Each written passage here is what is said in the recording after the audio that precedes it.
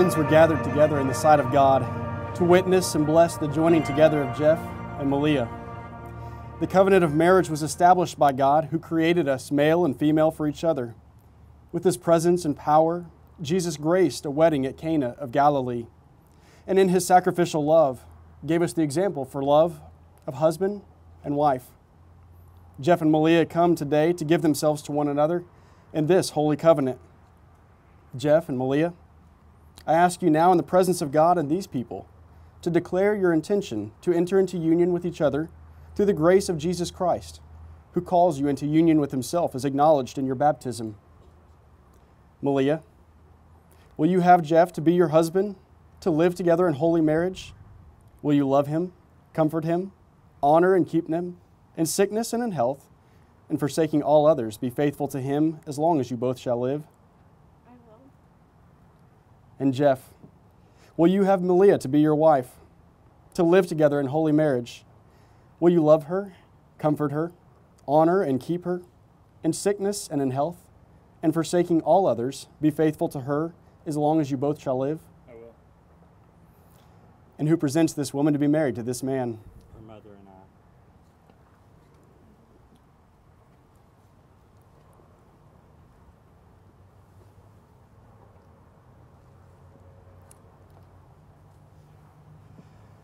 Let us pray.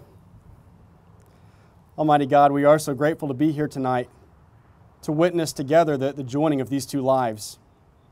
We're grateful for the opportunity to witness their love for one another and for their desire to enter into this covenant with each other.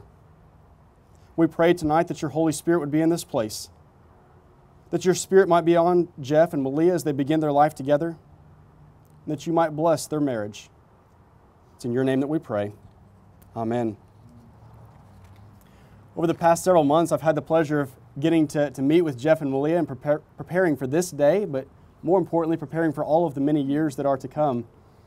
During this time, I asked them a lot of different questions, and, and I asked them to do certain things along the way. And one of the things that I asked them was to pick out scripture verses, verses that they thought best represented what love and marriage are all about. They came back and they met with me, and they had three verses picked out, and they asked if we could read these tonight as part of this ceremony. And the first is from Ecclesiastes. It says that two are better than one because they have a good reward for their toil. For if they fall, one will lift up the other. But woe to one who is alone and falls and does not have another to help. Again, if two lie together, they keep warm. But how can one keep warm alone? And though one might prevail against another, two will withstand one. But a threefold cord is not quickly broken. And then from Matthew chapter 19 some Pharisees came to him, and to test him, they asked, Is it lawful for a man to divorce his wife for any cause? He answered, Have you not read that the one who made them at the beginning made them male and female, and said, For this reason a man shall leave his father and mother and be joined to his wife, and the two shall become one flesh. So they are no longer two, but one flesh. Therefore, what God has joined together, let no one separate. And finally, I think their favorite verse is from 1 Corinthians chapter 13. Love is patient. Love is kind. Love is not envious or boastful or arrogant or rude.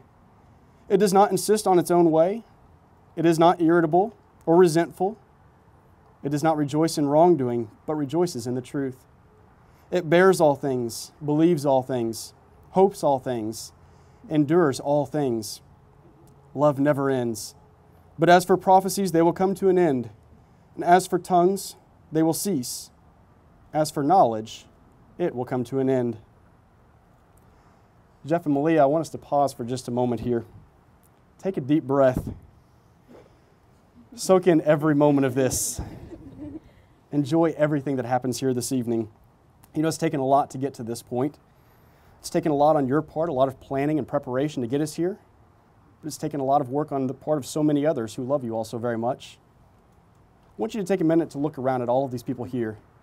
These people who love you, who are here to support you, and witness this special moment in your lives. We didn't get to this point by accident. It's by the grace of God and the love of every person here, and so many others who wish they could have been here tonight, that you all are standing in this moment, preparing to unite your lives. You know, leading up to and after weddings, I'm sure you all have already gotten into this, but you write a lot of thank you notes. There's a lot of people to thank with weddings. But one of the greatest pieces of advice I could ever give you is to never let that habit fall away. Even when the gifts are done and you've written the last of the wedding thank you notes, never stop expressing your gratitude. Continue to think about the things and the people that you are grateful for and take time to let them know. When we do this, it helps us turn our attention and our focus and our perspective from ourselves to those that are around us. It helps us see beyond ourselves. It changes our perspective on life. We're reminded that our primary focus, our primary gratitude is to God for God's grace and for God's blessings, for so many things that we experience. But then it also reminds us to be grateful for the others who are part of our lives, who show us God's love every day. It's because we know that love that you all are able to come together to love one another. But even as we look back with gratitude at all of the people and all of the things that have brought us to this point, I also can't help but look forward to your all's future and be excited about the many years, the many memories that are waiting to be made, the many times that we have to share. What we are doing today is going to have ripple effects for generations to come. This moment, this night, is going to change the world because your great, great, great grandkids are going to look back and remember you guys and know that you have made a difference in this world because of the commitment that you are making here this evening. In just a moment, you two are going to take your vows.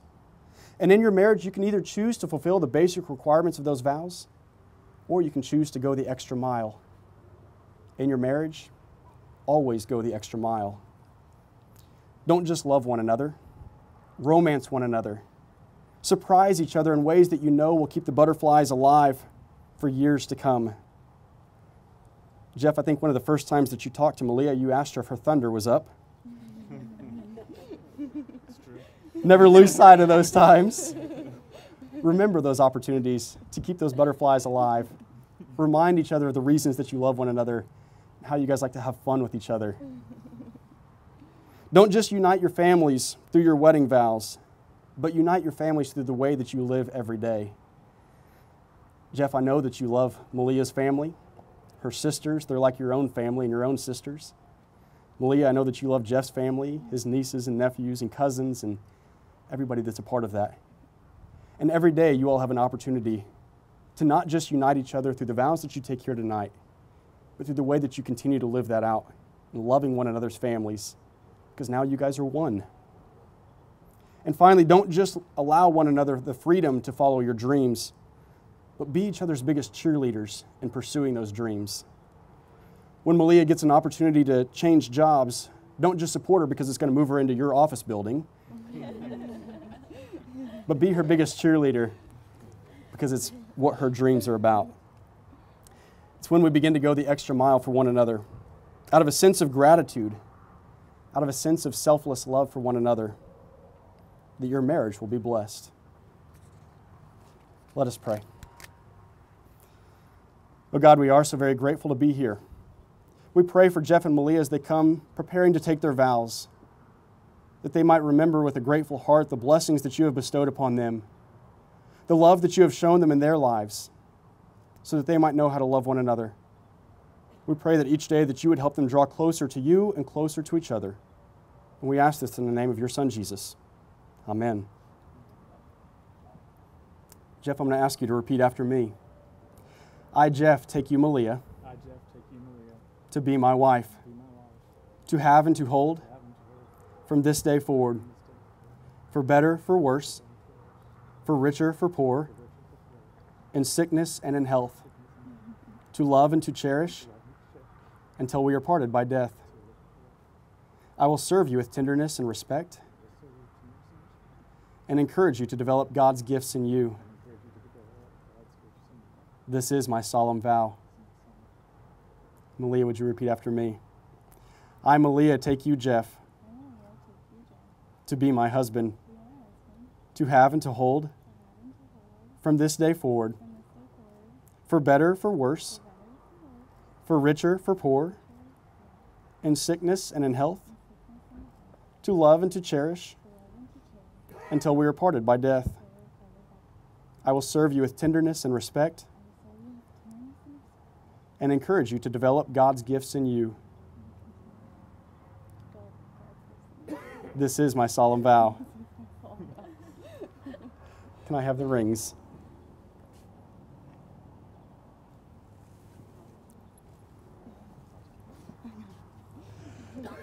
These rings are the outward and visible sign of an inward and spiritual grace, signifying to all the uniting of Jeff and Malia in holy marriage. Let us pray. Oh God, we ask for your blessing upon these rings.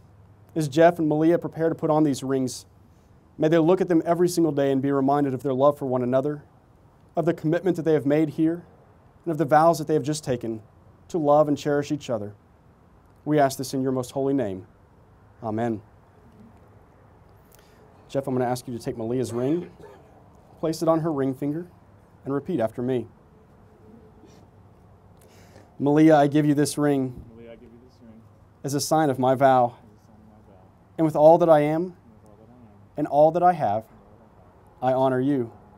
In the name of the Father, in the name of the Father, and of the Son, and of the Son, and of the Holy Spirit. and of the Holy Spirit. Malia, would you take Jeff's ring and place it on his ring finger and repeat after me? Jeff, I give you this ring Jack, I give you this ring as a sign of my vow, as a sign of my vow, and with all that I am and all that I am, and all that I have, and all that I honor you. I honor you. In the name of the Father, In the name of the Father, and of the Son, and of the Holy Spirit. Jeff and Malia, you've declared your consent and vows before God and before these people. May God confirm your covenant and fill you both with grace. Would you turn and face these friends and family who are here? Now that Jeff and Malia have given themselves to each other by solemn vows, with the joining of hands and the giving and receiving of rings, I announce to you that they are husband and wife. In the name of the Father, and of the Son, and of the Holy Spirit, those whom God has joined together, let no one put asunder. Amen. Jeff, you may kiss your bride.